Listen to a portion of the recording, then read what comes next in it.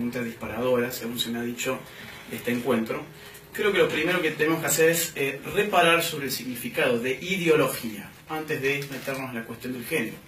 Ideología tiene por lo menos dos grandes acepciones, una epistemológica y una típica de la ciencia política. La epistemológica nos recuerda un poco a las teorías sobre la ideología de Marx, donde la ideología se nos presentaba como ese espejo que nos daba la realidad patas para arriba, es decir, la ideología como eh, una imagen que se nos presenta distorsionada de lo que es real.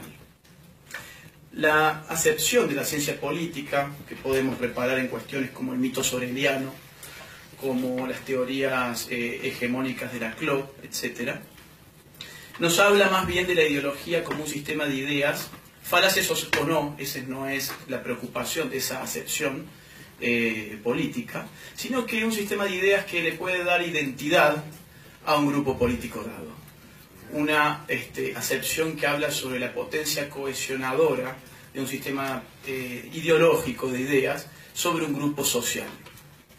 En ambas grandes acepciones, tanto la epistemológica como la típica de la ciencia política, la ideología de género es efectivamente ideología.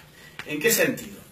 Primero que nada porque en la pretensión de explicar la realidad sexual del hombre, limitándonos a su realidad cultural, que es, como vamos a ver, lo que ha llevado a la instancia que hoy vivimos en la discusión de la ideología de género, esta va al contrapelo de, que lo, de lo que las ciencias de duras nos afirman sobre la sexualidad humana.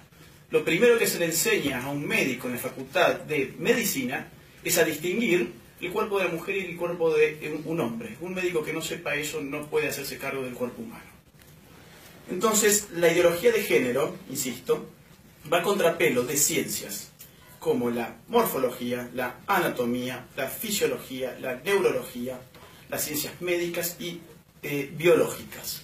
Las ciencias que paradójicamente somos a las que recurrimos nosotros cada vez que nuestro cuerpo tiene alguna falla. Son las ciencias a las cuales les estamos en deuda eterna con ellas por las expectativas de vida, por ejemplo, que hoy podemos tener y por el conocimiento del cuerpo humano que nos han legado. Esta ideología, ¿qué afirma? Afirma que la sexualidad está desarraigada de la naturaleza y que es una construcción cultural. Ustedes dirán, bueno, en verdad no es tanto así. Leamos, si no a las feministas de la tercera ola, leamos por empezar a Simón de Beauvoir en segundo sexo, no se nace mujer, llega aún a serlo, la frase que se inmortalizó, ¿qué es lo que, qué es lo que supone? Que una mujer cuando viene al mundo no es mujer hasta que no la hace. ¿Quién la hace? Un sistema cultural.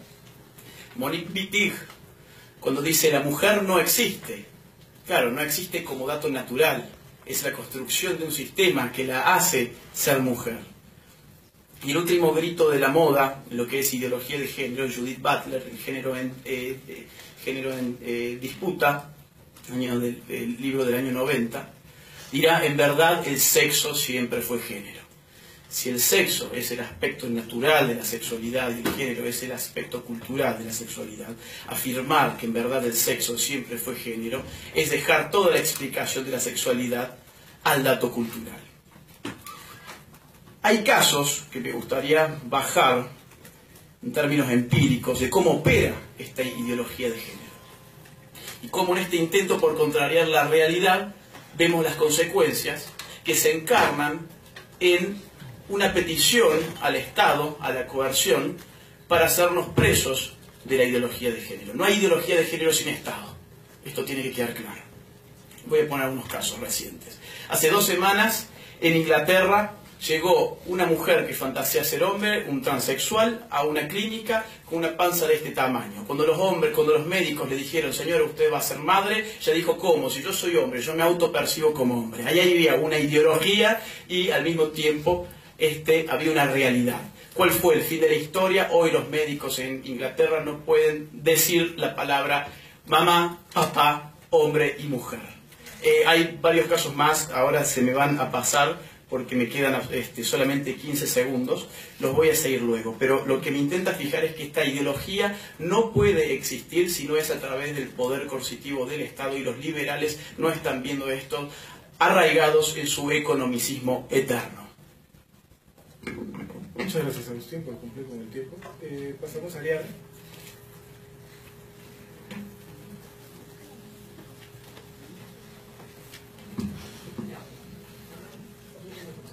Aló.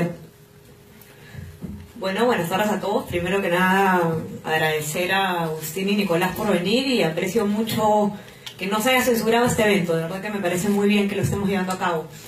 Eh, bien rápido, eh, me parece que Agustín ha hecho un, una breve eh, reseña de lo que él define como ideología de género en su libro, más ha olvidado una conclusión o digamos una premisa en realidad bajo la que él escribe, que es que esta ideología en realidad nace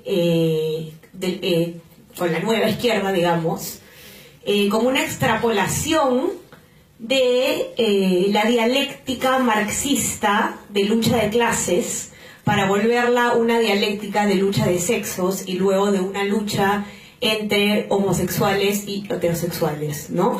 Y todo esto con el fin de eh, acabar con el sistema capitalista, ¿no? Eh, lo que dice es que como la lucha de clases ya no funciona, de hecho ha fracasado, el neomarxismo lo que busca es terminar con el capitalismo a través de esta, de esta eh, lucha cultural, digamos, ¿no?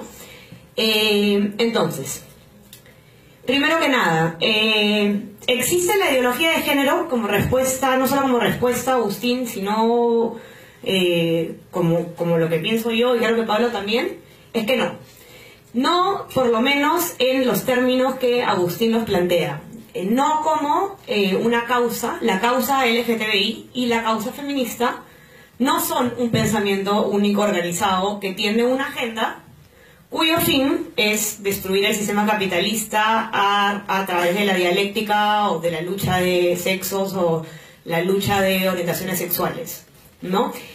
Ojo, existe, es cierto, el marxismo cultural, eso no lo podemos negar, que es un sector que tiene efectivamente una agenda que utiliza la causa LGTBI o feminista con fines políticos económicos, como ocurre con todo movimiento. Sin embargo, la abrumadora mayoría de personas que luchan por la causa LGTBI y por las causas feministas no les interesa el sistema económico o no les interesa qué va a pasar con el capitalismo. Lo único que les interesa es que se reconozcan sus derechos y que tengan libertad. Segundo, eh, acerca de la referencia que hizo Agustín eh, de Simón de Beauvoir, eh, creo que la, definición, o digamos, es un poco reduccionista decir que se ha eliminado la, ciencia, digamos, el, el componente sexual, por decir que uno no nace mujer, sino que se hace mujer. Lo que quiso decir de Beauvoir, y creo que todo el mundo lo sabe, es cuando dice que uno se hace mujer, es que esto es una construcción eh, sobre qué significa ser mujer culturalmente, cuáles son los roles que se le impone a una mujer culturalmente, ¿no? Que creo que acá todos lo sabemos, o sea, vemos acá todas las piernas depiladas, ¿no? Vemos acá este, las mujeres con sostén, eh, creo que no es muy difícil, y otros roles un poco más agresivos y bueno. ¿No? O sea, yo creo que eh, no ha querido decir que no importa qué genitales tengas o no, sino cuáles son los roles que se te imponen por los genitales que tienes en las piernas. Eh, segundo, eh, ¿existe en el Perú la ideología de género? Porque ese es el tema que está en boga acá, ¿no? Si en el currículo escolar eh, existe la ideología de género. En el currículo escolar, y ustedes lo pueden comprobar, está en la página del Minedu, no existe ni dialéctica ni lucha de sexos, no se habla de pedofilia, que es algo que se habla en el libro de Agustín y de, y de Nicolás, y mucho menos habla con acabar con el capitalismo, de hecho este es un gobierno de derecha. Eh, de hecho, cito en la página 22 del currículo, este enfoque se relaciona principalmente con los principios de inclusión, equidad, calidad e igualdad de género y en ningún momento se habla de lucha de sexos entre hombres y mujeres.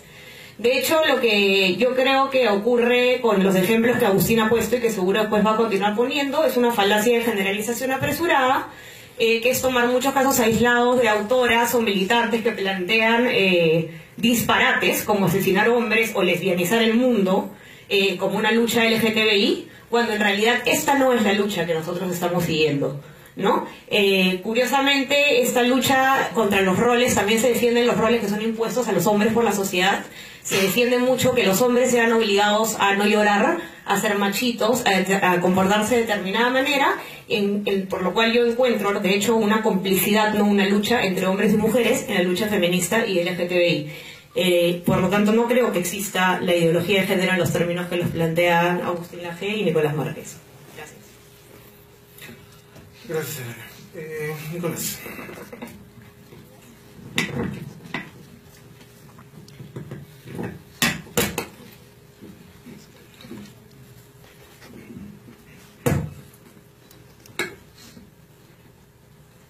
Usted me avisa cuando falte un minuto, por favor. Bueno, muy buenas tardes a todos y también agradezco a los contertulios que están aquí polemizando con nosotros y agradezco mucho al doctor Quintanilla que ha tenido la, valentía y la fortaleza de resistir los embates de las organizaciones de izquierda, que ahora me acabo de enterar no tienen nada que ver con los grupos LGTB, pero que estaban inmensamente preocupadísimos con que desenmascaremos en este debate la ideología de género. Me llamó mucho la atención, yo que siempre soy este, tan amante de la cultura peruana, el espíritu de debate. En Argentina por primera vez hubo un debate presidencial eh, en la última elección, Macri contra Scioli, 2015, la última vez y la única que hubo en Argentina.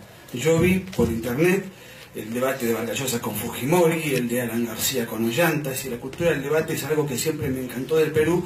Lamentablemente acá se vio trastabillado permanentemente a la fuerza con panelistas que iban y venían, cambio de reglas y cambio de, de, contrapartes. No sabíamos hasta el último momento con quién íbamos a a competir, mejor, mejor dicho, a polemizar.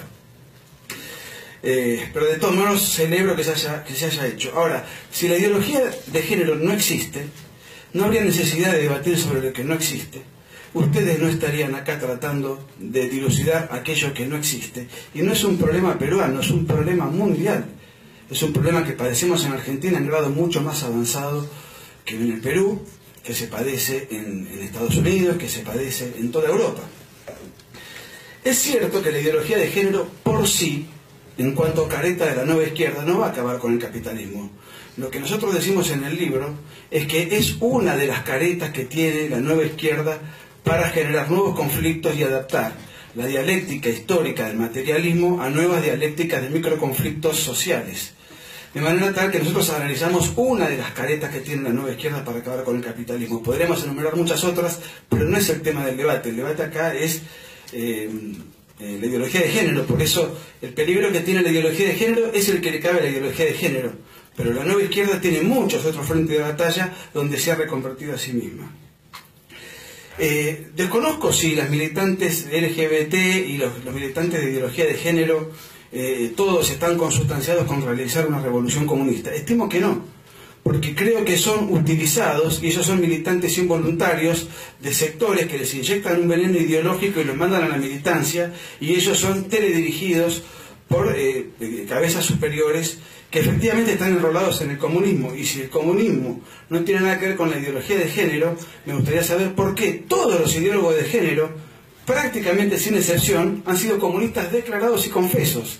Se mencionó Simón de Beauvoir, que era maoísta, Sartre, que era el esposo de ella, que era marxista, el padre fundador del movimiento LGBT norteamericano, Harry Hay, afiliado al Partido Comunista, Herbert Marcuse, afiliado al Partido Comunista, Wilhelm Reich, afiliado al Partido Comunista. Hace falta decir que la Escuela de Frankfurt fue una cabeza del marxismo del siglo XX, o por ejemplo, una vuelta de tuerca que tiene mucho que ver con la ideología de género, y que es un poco el patriarca doctrinal de la progresía contemporánea, Michel Foucault, afiliado al Partido Comunista en 1953. Y todos los ideólogos de género contemporáneos, sin excepción, y en todo caso, si hay alguna excepción, me gustaría conocerla porque con Agustín hemos repasado la inmensa mayoría de todos los ideólogos de género, todos inequívocamente están enrolados en la misma causa ideológica y creen que este es uno de los tantos mecanismos para forjar la revolución. No el único, por eso reducir a la ideología de género como un peligro comunista revolucionario, eso está aclarado en el libro muchas veces. Son muchos los frentes de batalla que la izquierda pone, se reinventa. Se... Lo que pasa es que la ideología de género tiene un problema para nosotros mucho más grave, que cuál es? Que la izquierda histórica se presentaba más o menos tal cual es.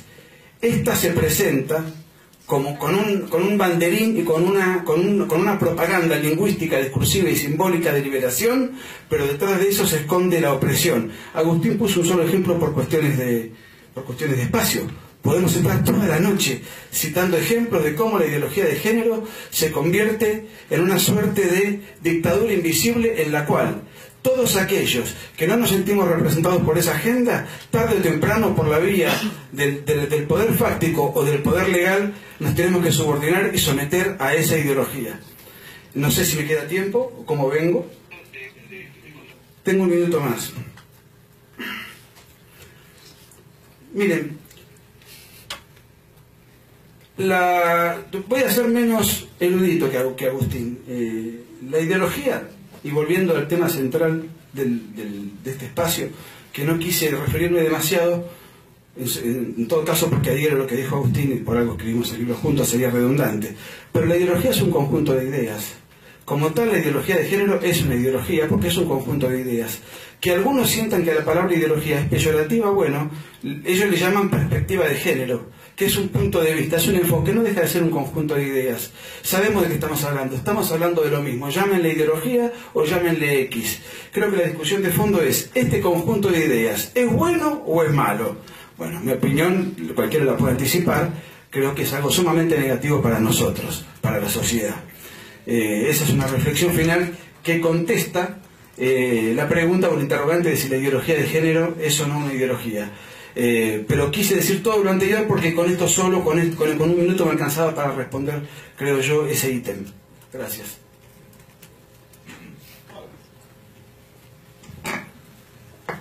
Bueno, muchas gracias a todos por asistir, especialmente a la Universidad Católica, Students for Liberty, que se han esforzado en hacer este debate y que la asistencia es numerosa y el tema interesante.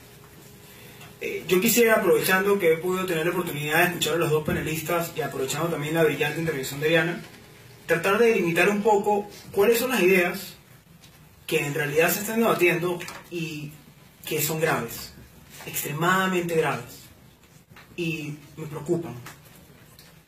¿Cómo definen en el libro ideología? No como un conjunto de ideas, señor Márquez. Un conjunto de ideas también es un concepto. Un conjunto de ideas es básicamente también una idea. Por lo tanto, decir que una ideología es un conjunto de ideas peca de impreciso e irresponsable desde cierto punto de vista académico. ¿Cómo define ideología el libro? Y paso a leerlo explícitamente. Ideología pensamiento único organizado con agenda. Es decir, todas aquellas personas que pidan la igualdad ante la ley tienen un pensamiento único con agenda. Una agenda, a parecer de los escritores que hoy se encuentran en el lado derecho de esta mesa, una agenda para destruir el capitalismo, para destruir al mercado, para destruir a la familia.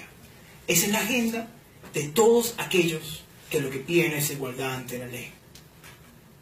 Evidentemente no se trata de una ideología de género vista desde esos términos. Lo que ocurre acá, como dice Ariane, es lo que ya se le ha dicho varias veces en otros países a ellos también. Es una falacia a la generalización. Y me voy a valer de una fuente que ahora sí tiene muchos filtros. ¿Y cómo se define la falacia de la generalización apresurada? No voy a utilizar eh, definiciones de Chain Perelman o definiciones de otros retóricos que se han dedicado única y exclusivamente a estudiar las falacias. Me voy a valer de, la, de, la- explicación extremadamente válida que encontré en Wikipedia. ¿Qué dice Wikipedia sobre la generalización apresurada? apresurada? Es inferir una conclusión general a partir de una prueba insuficiente. Es decir, agarrar la excepción y convertirla de una forma completamente ilógica, irracional, sin sentido, convertir la excepción en la regla. Entonces, lo que, dice el libro es, bueno, todas las personas que tienen una agenda marxista, una agenda intervencionista, una agenda que quiere deliberadamente el capitalismo y también están de acuerdo con la igualdad de derechos, ese es un grupo mínimo. Yo me atrevería a decir que es menos del 1%. El resto todo el resto de las personas lo único que reclaman, y lo mismo que reclamamos los que a mí me gusta pensar somos los amantes y defensores de la libertad del mundo, lo único que reclamamos es igualdad ante la ley. Eso no es querer destruir el mercado, eso no es una agenda. Lo maravilloso de la comunidad LGTB es que reúne varias agendas. Y yo por eso la felicito y por eso promuevo y considero que la comunidad LGTB, como cualquier comunidad que se agrupa como minoría para reclamar igualdad ante la ley, es fantástico. Hoy, fue la comunidad, hoy es la comunidad LGTBQI, ayer fue la comunidad negra, ayer fue la comunidad indígena. Lo fantástico de las minorías es que siempre luchan ante igualdad ante la ley. Y eso es lo que se reclama. Por lo tanto, no se trata, Agustín, no se trata, Nicolás, de una sola agenda. En todo caso, si me pidieran a mí a preguntar, bueno, Pablo, ¿y cuál es la agenda? ¿Cuál es la agenda de todos aquellos que demandan igualdad ante la ley? Yo diría que la única agenda es libertad. Libertad de decidir con quién quieres estar, libertad de decidir con quién es definirte. Por lo tanto, nosotros, y soy enfático en esto, no cometamos, les pido por lo menos al público, porque por lo visto yo espero de verdad que, después de esto haya un segundo libro, siempre es muy interesante ver cómo autores se retractan sobre sus ideas, siempre ha sido divertidísimo. ¿Quiere ser famoso por haberlo hecho, por ejemplo? Yo espero que en el segundo libro reconozcan que en verdad ha sido un error considerar y lo de género y engarrar a todo el mundo, meterlo con un saco, me queda un minuto, ese es el problema de los venezolanos, somos como Chávez, nos encanta agarrar un micrófono y no soltarlo. Sorry, ¿verdad? Por eso.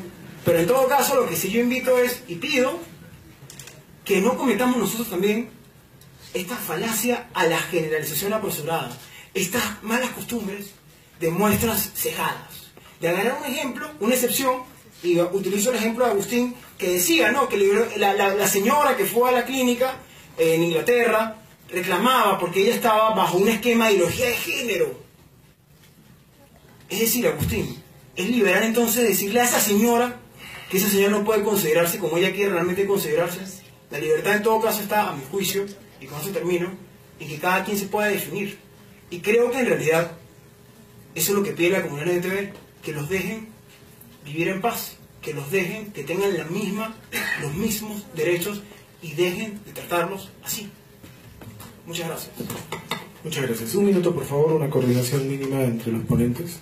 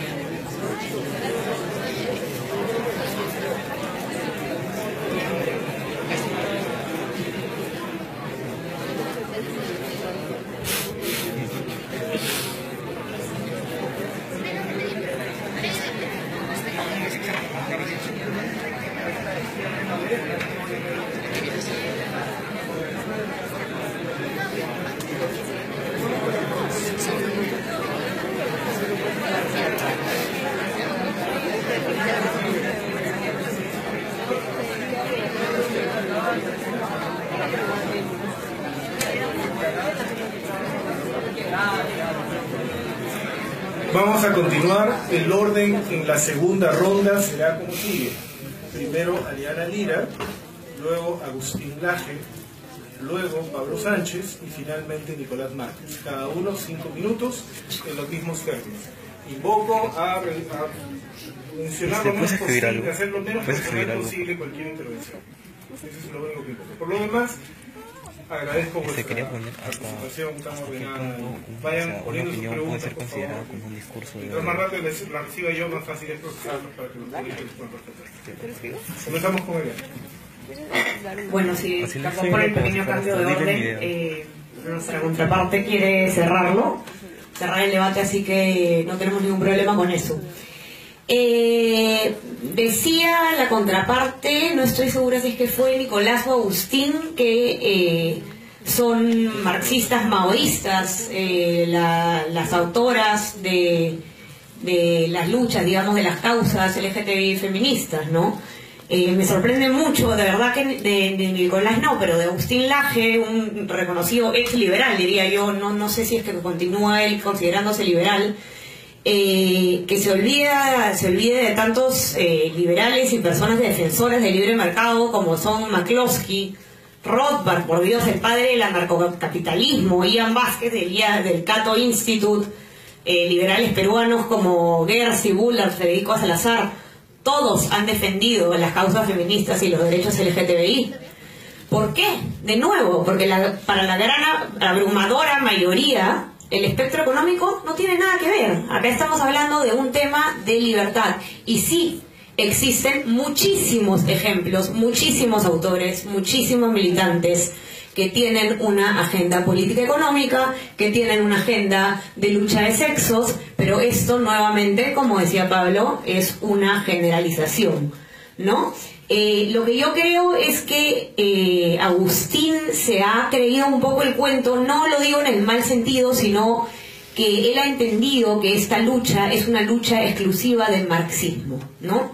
A mí personalmente, que no soy marxista y muchos lo saben, no me importa si mañana el marxismo quiere luchar algo, eh, ya, ya, sea por estrategia política o no, con lo que yo coincido. ¿no? Uno tiene principios, uno tiene convicciones, no importa qué espectro político económico tengan detrás. ¿no? Yo creo en la libertad, yo creo en las personas LGTBI, yo creo en las causas feministas y eso no me hace a mí marxista, no me hace a mí seguir ninguna ideología de género. ¿Qué pasa? Las luchas, y es lo que no ha entendido la contraparte, no se monopolizan las ideas no se monopolizan. Basta con ver la portada del libro que ha escrito la contraparte. No sé si todos la han visto, pero es una bandera gay con el Che Guevara encima, con la boca pintada. Es decir, si tú defiendes la causa gay, eres el Che Guevara. Un, un eh, homofóbico declarado, además, ¿no? Aquel que está creando dialéctica, aquel que está creando lucha, son, son Lajes y, Márquez, ¿no? O sea, de hecho basta con ver el salto lógico en una simple portada de libro, ¿no? Sobre el heteropatriarcado capitalista, ¿no? O sea, yo sigo diciendo, ¿qué tiene que ver temas económicos con eso? Ok, hay gente que tiene esta agenda. Yo misma he tenido una discusión con un militante de la comunidad LGTBI que me dijo que yo no tenía derecho a defender a la comunidad LGTBI por ser una persona pro libre mercado, ¿no? O sea, esa persona está de acuerdo con Agustín Laje, ¿no? O sea, Agustín Laje ha caído en la trampa de que la lucha por la libertad es un monopolio del marxismo. Y me da pena, Agustín, que te dejes robar las luchas. Disculpa, lo retiro. Me da pena que en general haya gente que crea en la libertad que se deje robar las luchas. ¿No? Eh, en cuanto al tema de la destrucción de la familia, tradicional que supuestamente busca la ideología de género, porque según sostienen los autores, eh, la familia tradicional heterosexual es el sostén del capitalismo. Eh, yo creo que otra vez estamos con la generalización apresurada, ¿no? Yéndonos con autoras que se van a disparates como ese, ¿no? Acá que buscamos lo que queremos la libertad. Buscamos que haya el tipo de familia que a cada quien le dé la gana. Si a mí me provoca tener una familia, casarme con una mujer, tener hijos, no tener hijos, el, concepto de familia tradicional no es un concepto único. Nosotros defendemos los conceptos de familia infinitos que pueden existir y la manera de organizarnos que nos dé la gana. Si es que el señor Agustín Laje cree que debería existir solamente un único modelo de familia, en realidad eh, eso a mí me suena más marxista que liberal. ¿No? Me suena un, un, poquito más eh, autoritario. Eh, en fin, eh, lo que yo creo es que si varias de las propuestas de, de, la lucha del LGTBI o del feminismo se aceptaran mañana, mañana habrían personas más libres que hoy. Y yo creo que eso es más importante que entramparse en discusiones teóricas, en discusiones ideológicas, sino que lo que interesa en realidad es la libertad. Y creo que eh, Agustín ha, tenido eh, una lucha tan fuerte con el marxismo que ha puesto su anti-izquierdismo por encima de su pro-libertad. ¿no? Y repito, la lucha económica acá es una minoría. Nosotros lo que queremos es libertad y que cada quien pueda ser reconocido con la igualdad de derechos. Nada más. Muchas gracias. Bueno, eh, parece que esto más que un intercambio sobre ideología de género es un intercambio sobre Agustín Laje. Agradezco mucho, sin embargo, tu énfasis y tu interés por mi persona. Mira, eh, yo te diría un par de cosas. Número uno, hay que releer a Rothbard y no un solo Rothbard. Tenés que leer al último Rothbard, engañado por la New Left. Ustedes se parecen bastante a esa New Left que, le sacó gente a, a Rothbard. Y después incluso Rothbard en uno de sus últimos años hace un modelo psicológico que bien encaja con, con ustedes. Te lo, te lo, sugiero que lo que leas, te puedes ver frente a un espejo hermoso. En Mises, lean a Mises nuevamente, es, lean a Mises sobre la familia y sobre su concepción natural del sexo, ¿sí? porque él en el año 22 ya advierte y ya ve que el socialismo eh, va a tomar estas banderas desnaturalizando la naturaleza sexual. Y eso está completamente explícito allí. Pueden leer también a Harold, eh, a Marcuse, que habla de liberación y a quien Hayek le va a responder con libertad, que no es exactamente lo mismo. Ustedes no están hablando de libertad en términos austríacos, sino de liberación sin darse cuenta, haciéndole el juego a la escuela de Frankfurt. Yo cuando estoy eh, hablando sobre casos, no hablo de casos, aislados que estoy tomando por aquí o por allá. Son realmente muchos casos. Me quedé sin tiempo hace un rato para poder hablar sobre el tema. En Suecia tenemos un partido de izquierda que está pidiendo una ley para obligar a los hombres a orinar de sentados. A mí eso no me parece para nada liberal. De hecho, yo creo que si hay alguien antiliberal en, en esta mesa, en todo caso serán ustedes. Que no, que, no, que no pueden ver cómo el Estado se quiere meter incluso en el retrete. Eh, en, Estados Unidos tenemos casos de pasteleros que no han querido hacer una torta para bodas homosexuales y en Colorado el Estado lo obligó, sin embargo, a hacerla en calidad de esclavo y en Oregon les pusieron una multa de 130 mil dólares. En Francia, en ciertos pueblos, se ha prohibido la palabra mademoiselle, señorita, porque vendría a ser una violencia de género porque no existe señorito. Y esto viene a eh, exponer el Estado civil. En el País Vasco se está pidiendo que se elimine, que se prohíbe el fútbol en las escuelas porque territorializa con criterios de género el espacio recreativo. Hace muy poco tuvimos en España el caso de Asteoyen donde se le prohibió la circulación a un autobús porque a, ciertas comunidades no les gustaron eh, lo que ese autobús tenía inscripto. Hay muchos países de Europa donde es el Estado el que empieza a financiar esa fantasía del cambio de sexo. el sexo, sexo no es algo que se cambie uno puede mutilar una parte sana de su cuerpo, pero no cambiarla. Y esto es un dato médico. Eh, los cupos de género, tanto en el sector público como privado. Es decir, acá hay una infinidad de datos que están acaeciendo en donde la ideología de género está más avanzada eh, y que ustedes piensan que Acá simplemente este, no está entrando porque la currícula no es tan explícita como en otros lugares, como si fuese una cosa que se congela de una vez y para siempre. No, esto es una lucha gradual y pasiva. Y yo los insto realmente, no solamente a que lean a los marxistas culturales, que, sería bueno que lo, que lo hicieran, sino también que vean las principales referentes de la ideología de género, eh, dónde ha militado y qué han escrito antes del género. ¿sí? Y sobre lo que dice Pablo, yo no veo igualdad ante la ley.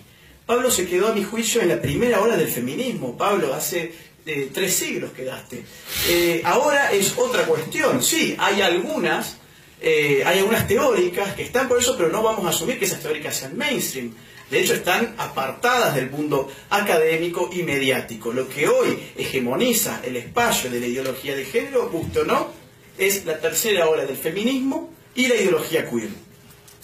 Eh, para cerrar con otra crítica que se hizo, ¿hay un fin de la historia en el marxismo cultural? No, por eso no es marxismo clásico. Nosotros no asumimos simplemente que con esto van a eh, acabar con el sistema de mercado. Nosotros asumimos que esta es una forma de generar el conflicto social y que se apoya en conceptos como el heterocapitalismo, que está escrito por estas teóricas. Si nosotros vamos a pensar que estos no son signos simplemente porque de facto creemos que son pocos, entonces no estamos mirando bien la realidad académica, mediática y política. Gracias.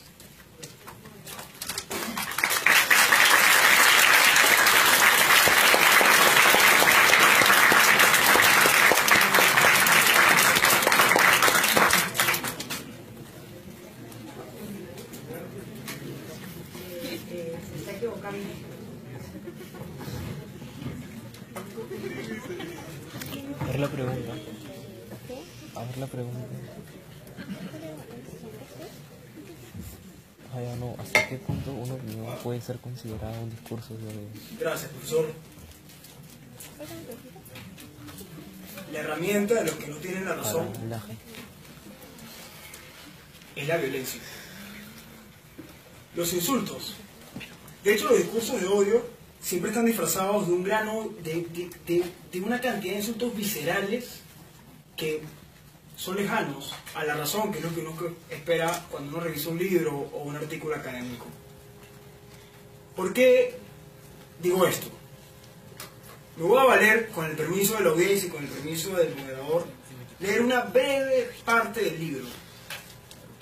Y pido por favor que cuando lo escuchen cambien la palabra homosexual por negro, por indígena, por lo que ustedes quieran, por cualquier minoría que se les venga al cerebro, dirán si en realidad esto es realmente un ensayo académico o en realidad es un exordio de odio. Es decir, todo cuanto hemos dicho en este capítulo relativo a lo insano que significa practicar la homosexualidad no tiene otra finalidad más que poner de manifiesto que la ideología de género no solo es perniciosa y peligrosa por el hecho de esconder tras de sí un modernizado propósito comunizante. Es decir, todos los gays tienen un propósito comunizante, sino porque además el instrumento usado para su embosada imposición política es objetivamente dañino para quienes son incentivados a practicarlo. ¿Practicar qué? Es decir, los homosexuales. Sigo y me valgo de leer otro párrafo y pido con esto que lo piensen un minuto. Pero respecto puntualmente al matrimonio entre homosexuales, esto es un tema muy debatido acá, muy en boga en el Perú. Hay varias alternativas, se han planteado mil y una iniciativas legislativas sobre este tema. Conforme a la lógica aristotélica, la no discriminación, estoy leyendo el libro, consiste en el trato igualitario entre iguales. Por ende, no otorgarles a estos, los homosexuales, el derecho a contraer matrimonio no encarna discriminación alguna, dado que no son iguales, sino justamente homosexuales. Como dice mi, querido jefe, el doctor Enrique Gersi, en realidad todas las instituciones son evolutivas. Y las instituciones sociales evolucionan dependiendo de la sociedad que está, dependiendo en cada una de las sociedades, en cada una de las circunstancias de tiempo y lugar. Así que más bien que genial, yo no pienso como los autores del libro, yo no pienso que en realidad la familia se esté poniendo en amenaza. Yo más bien todo lo contrario. Estas nuevas uniones lo que buscan es realmente desarrollar, mal, des- desarrollar más lo que es el concepto de familia. Tenemos ahora distintos tipos de familia. Es una cosa extremadamente curiosa. Como dice el doctor Gersi, antes eran los heterosexuales los que querían casarse, hoy son los homosexuales los que se quieren casar y los heterosexuales no se quieren casar. Es una cosa extremadamente ex- interesante que está pasando ahorita en la modernidad y yo lo que único que pienso es en qué afecta a los demás que dos personas del mismo sexo se casen. Liberal, a mí no me gusta el dogmatismo de decir liberales, tú no eres liberal porque no piensas como yo, tú no eres liberal porque no te acoges a esta definición de Rothbard, de Mises, de la New Left. Habría que decirle a Agustín que Rothbard se hizo narcocapitalista y dice que uno y dijo que uno de sus fundadores ideológicos fue Spooner, que también se tiene que identificar con la New Left, pero también lo citan los liberales. No me gustan esos dogmatismos a mí. A mí en lo particular, lo que yo pienso es que liberal es ser un amante de la libertad. Y en verdad las etiquetas no, no me gustan por lo general, porque pienso que lo que hay que defender es la libertad. Y yo lo que pido entonces es que en realidad, ¿qué es lo que, lo que está encerrado acá? Si realmente es una ideología de género o lo que se está promoviendo es ma- más libertad. Y cierro con un tema extremadamente importante. Ellos, el libro sostiene que la familia va a destruirse por culpa de los homosexuales, por culpa de toda la comunidad LGTBQI, Y luego entonces vamos a ir por los niños. Y luego la comunidad LGTBI va a ir por los niños y también vamos a destruir el, Estado, va a destruir la familia normal y también vamos a implantar la pederastia. A ese nivel se ha llegado y es extremadamente preocupante que alguien consiente ese tipo de ideas cuando en realidad lo que se trata es de libertad. Y como diría, lo, como, como- co- y me- con esto cierro y pido 10 segundos más, eh, como lo que es claro es que más bien cuidado y no los nuevos tipos de familia, lo que incluirían y permitirían son niños más completos que tengan más desarrollo y más pensamiento sobre qué quieren ser en el futuro, que se puedan definir. Insisto, falacia a la generalización. Muchas gracias.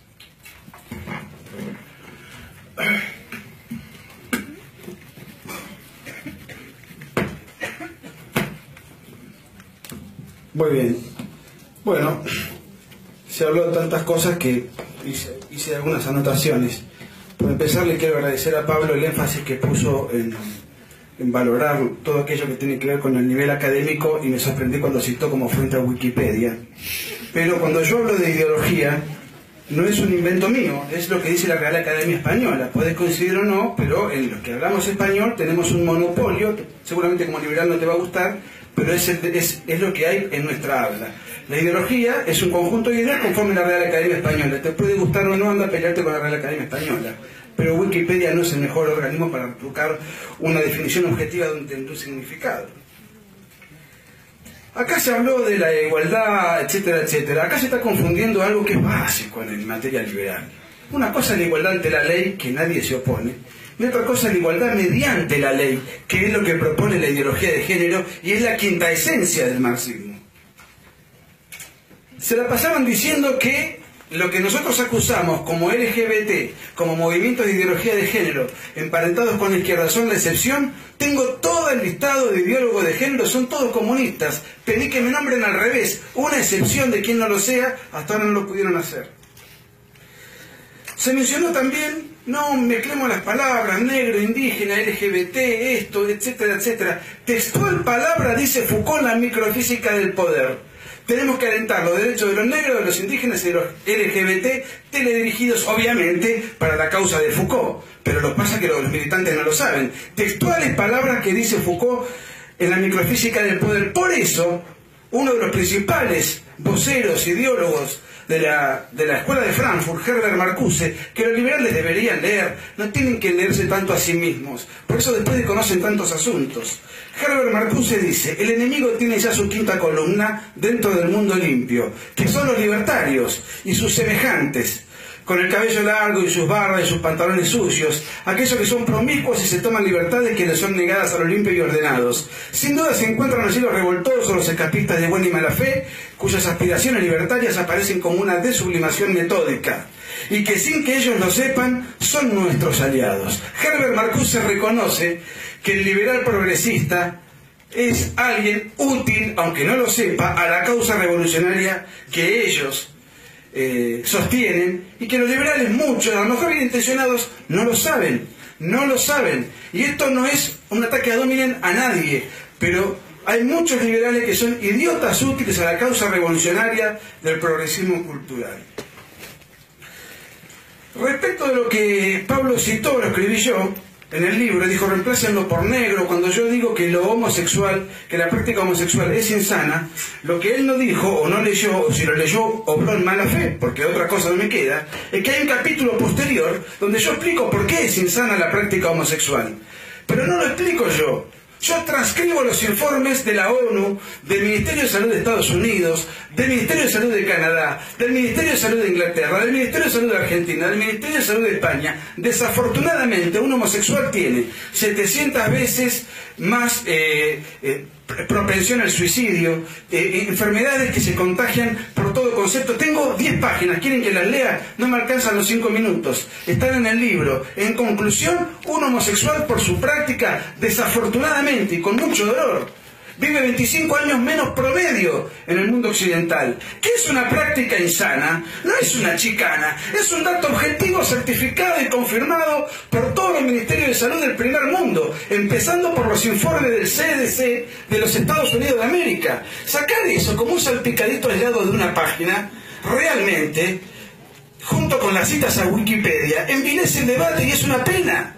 Es una pena porque saqué es muy propio, es muy propio de lo que hacía la televisión kirchnerista que nosotros hemos padecido. Sacaba tres o cuatro frases fuera de contexto, las guionaba a un locutor y te ridiculizaban en público. No, señores, y además hay otra cosa. Nosotros no vinimos a discutir el libro, porque vamos a hacer tres presentaciones del libro, están las entradas agotadas, tenemos presentaciones varias, venimos a discutir la ideología de género. Un libro tiene 300 páginas y debe ser leído con seriedad. Nosotros venimos a discutir la ideología de género y no frases sueltas recortadas y acomodadas de manera panfletaria para tratar de dejar mal parado a un eventual contertulio cuando nosotros en ningún momento le hemos tratado de faltar el respeto a pesar de todas las idas y venidas que hemos tenido que soportar y cambios de, de- de- esquema y de, y de- y de contertulios en el debate que hoy nos ocupa.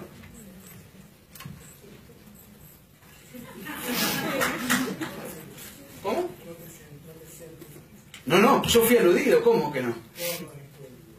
No, no, pero es que... Medio minuto más. Quiero decir una cosa, se confunde la señorita cuando dice, no, acá los chicos no saben porque el Che Guevara era... Yo tengo tres biografías escritas sobre el Che Guevara, al- algo manejo sobre el Che Guevara. Eh, no era homofóbico el Che Guevara porque la homofobia no existe. La homofobia es una fobia clasificada en los manuales de psiquiatría. Cualquiera que tenga una fobia tiene que ir al manual DSM-4 o DSM-5 de psiquiatría y vea si existe la homofobia como tal. Lo que Che Guevara sostenía dentro de su imbecilidad mental es que el homosexual no se concebía con el nuevo hombre revolucionario y por ende había que castigarlo en campos de trabajo en la península de Guanacavives. Eso era por otra parte por otra parte, eh, el marxismo clásico lo adoptó en China, lo adoptó en la Unión Soviética y lo adoptó en la, dictadura de Cuba.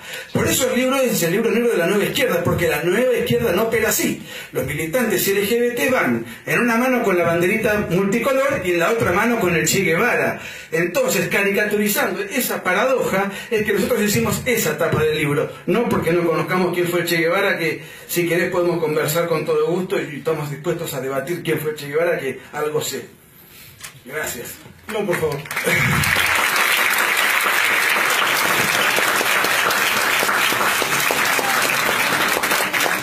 Como decimos en el Perú, no me toquen ese vals. ¿ya? No me toquen ese vals. No entremos por el lado de Che Guevara y todo lo demás. No, Es una excepción, yo- no, no, no. No, no, yo sé, pero digo, no, en general, para todos. No, está, creo que el debate ha sido mm, constructivo, interesante, pero no hay necesidad de ir en otras direcciones. Ahora me van a dar tres minutos para atravesar todo este bosque y este, repartir las preguntas a los ponentes.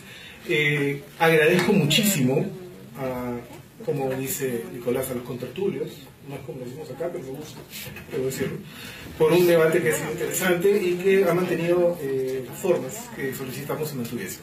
Entonces, por favor, tres minutos y este, reparto las preguntas a los presentes.